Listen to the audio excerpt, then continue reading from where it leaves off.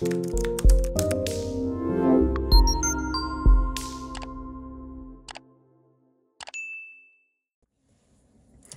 everyone, welcome back to my colourful country life.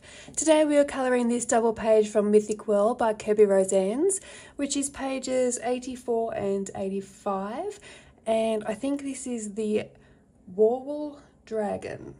Um, but first, let me explain this situation. So I have injured my thumb. I don't know what I've done or how I've done it. It's been hurting for a few weeks now, and it's got to the point now where I'm actually struggling to grip things. Like I've lost all strength in my thumb.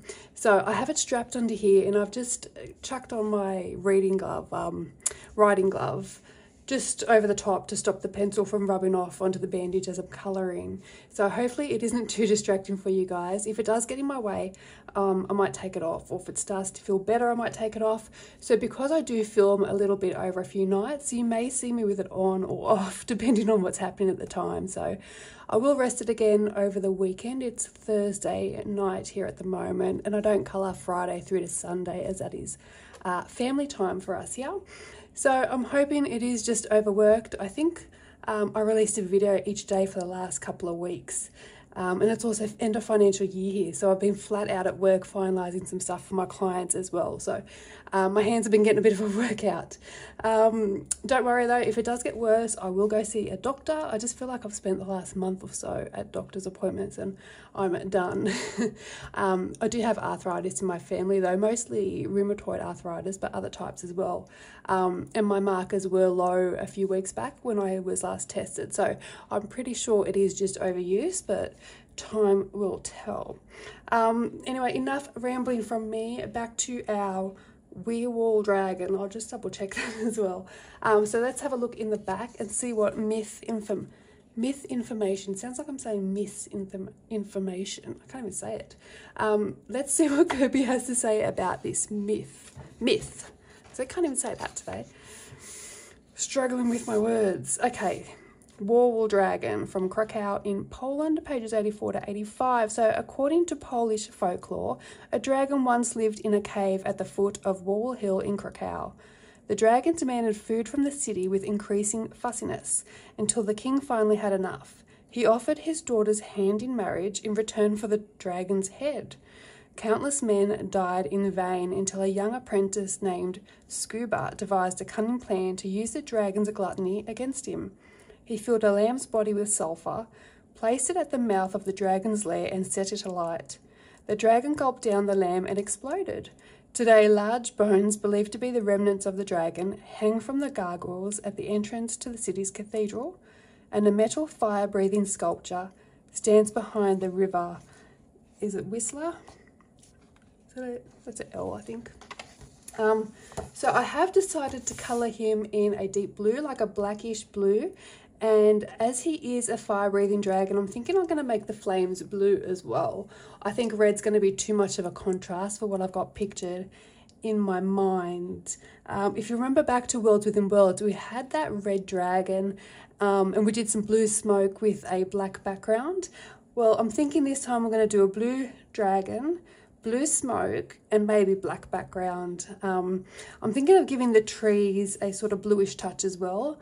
The building roof, I think I'll make it a terracotta or a really dark brown and maybe bring through slight touches of the green from the trees um, just to make it maybe a little bit mossy. And the buildings, I might make a neutral colour or, um, or a dark, no, I think I'll keep it a neutral colour. Maybe add a little bit of a bluish tinge to it maybe to bring through from the dragon.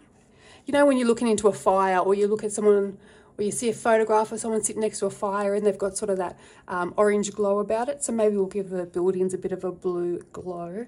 And I think we're going to do a dark brown wall as well, I think.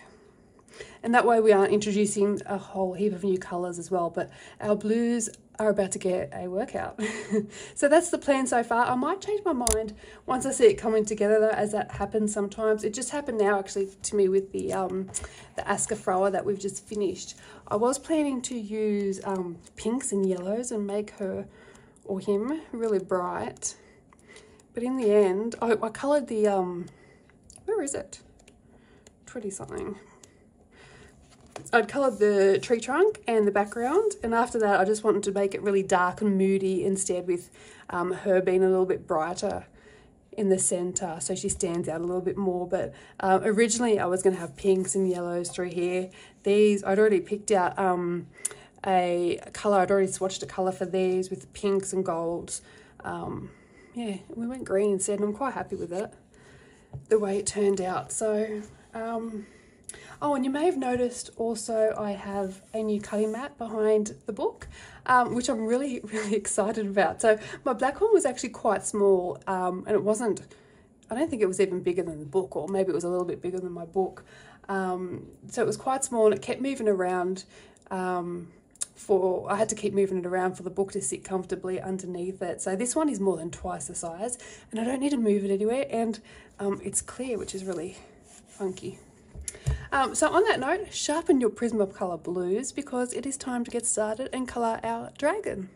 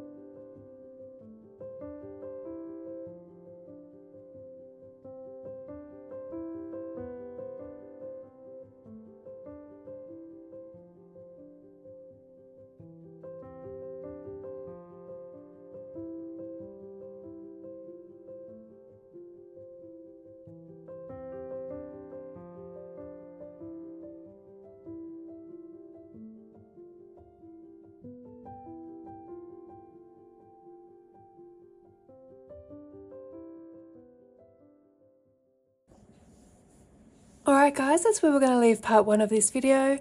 Um, I will see you again very soon for part two. Thank you so much for watching. Bye for now.